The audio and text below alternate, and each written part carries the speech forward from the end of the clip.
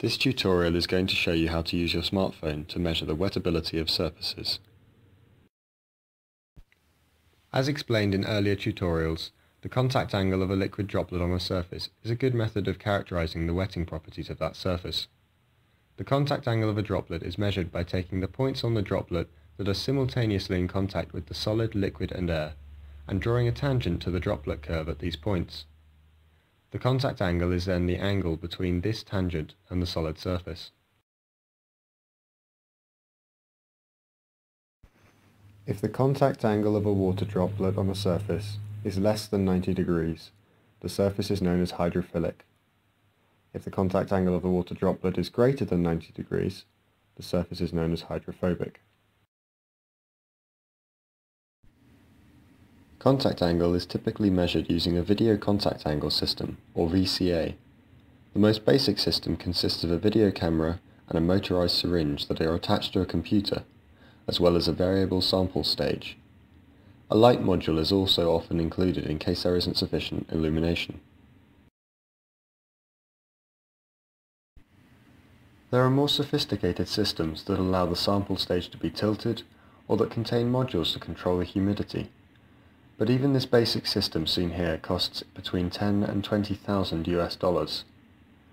This tutorial describes a simple alternative to this system that uses a pipette, a smartphone and a lens attachment to achieve droplet image capture, and then a free image editing software that allows the contact angle to be calculated from the image.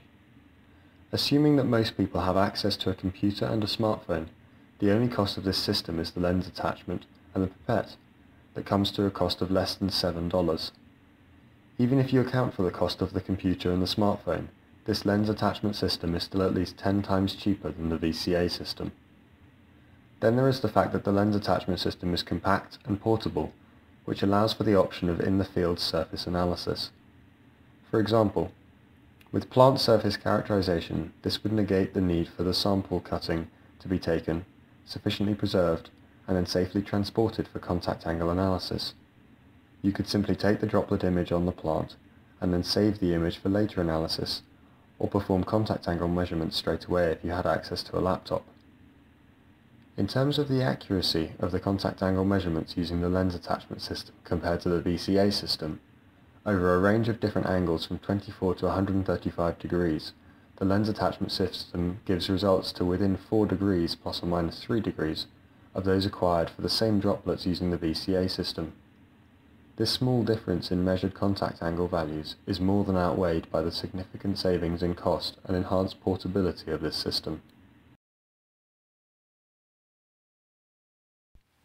To implement this method, you will need a pipette capable of dispensing small droplets. The small droplet size is necessary to minimize the droplet distortion under gravity, which will affect the contact angle measurement.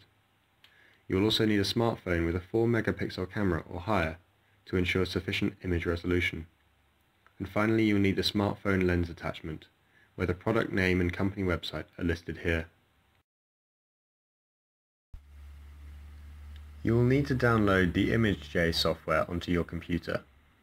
Note that version 1.46 including Java is required for use here, due to incompatibility issues with the more recent versions and the drop analysis plugin required to measure the static contact angle. This version of the software can be downloaded from this website and using the link ij146 jdk6 64-bit setup.exe. You will need to check your computer specifications to check if it has a 64-bit processor. If it does not, you will need to use this alternative link. It should be noted, however, that the link in the following tutorial is designed for Windows computers and may vary for different operating systems. You will also require the Drop Analysis plugin for ImageJ, which was developed by Aurélien Stalder from the Biomedical Imaging Group of École Polytechnique Fédérale de Lausanne.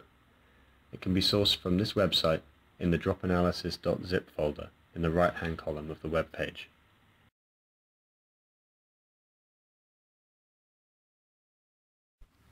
Having downloaded version 1.46 of ImageJ from the link, now install ImageJ and keep a note of where on the hard drive it has been installed to.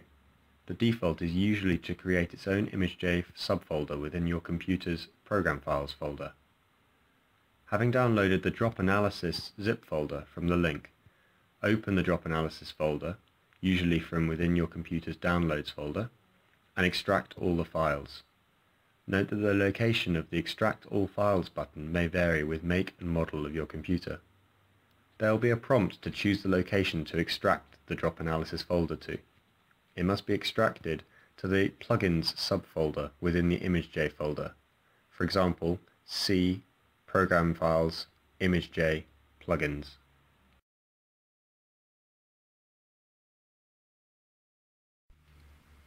Once you have the relevant equipment and have installed the ImageJ and Drop Analysis software, remove the lens attachment components, which consists of the fisheye lens, the wide lens, the macro lens, and the lens holder.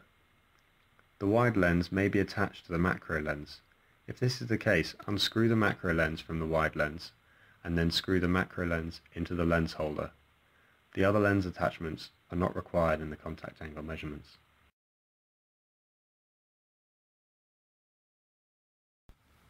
The lens attachment is then simply clipped over the camera lens of the smartphone. It is useful to have the smartphone camera on to ensure the lens attachment is properly aligned over the center of the smartphone camera lens. Position your sample flush with the edge of a workbench or table in a well-lit environment, preferably in front of a white wall or white backdrop. Using the pipette, dispense a 1 microliter droplet of ultra-high purity water close to the front edge of the sample, i.e. the edge that is aligned with the edge of the workbench. This is to enable the smartphone with the lens attachment to be positioned close enough to the sample to focus on the droplet. Position the smartphone approximately 1 to 2 centimeters from the droplet and use the smartphone camera's inbuilt zoom and its autofocus to achieve the optimum resolution close-up image of the droplet. The zoom is best used to approximately halfway and the autofocus used by tapping on the image of the droplet to focus the smartphone's camera on that droplet. These droplet images can then be transferred to a computer via email, a file sharing program such as Google Drive or Dropbox, or by USB connection directly to the computer. This last option is particularly useful if the images require in-the-field analysis where internet is unavailable. Once these droplet images are uploaded onto a computer which has ImageJ and the drop analysis plugin installed on it, they are ready for analysis. To analyze a droplet image, first open ImageJ and open the droplet image. I will use the sample image provided in the drop analysis folder to illustrate and I recommend practicing on this sample image before analyzing your own droplets.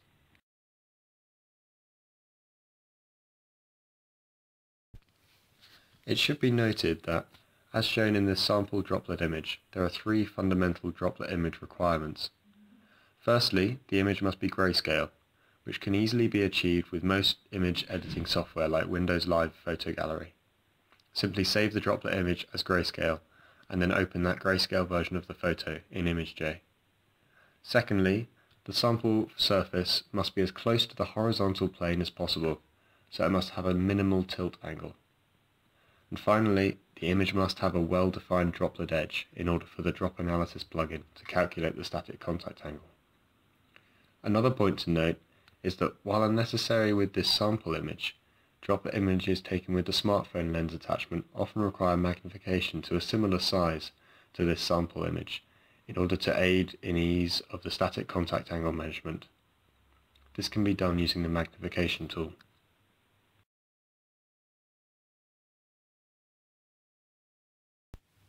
Once the droplet image has been opened and sufficiently magnified, open the DropSnake tool from the Plugins Drop Analysis, DropSnake. This should open the DropSnake toolbar, as well as another dialog box called Final Curves. Wait for this dialog box to appear before proceeding, and then do not remove this box, just move it to one side. Then open the Preferences window using the Heart button, and ensure the settings are the same as shown here. Save these settings and click OK to implement them. If there are any queries with this method, the DropSnake user manual, which is included in the drop analysis folder you've already downloaded, describes all of the respective buttons in the DropSnake toolbar and details their use in measuring the static contact angle. Here is a link to a video detailing how to use the DropSnake plugin to map the droplet curve, and some common troubleshooting pointers to note with the use of the DropSnake plugin.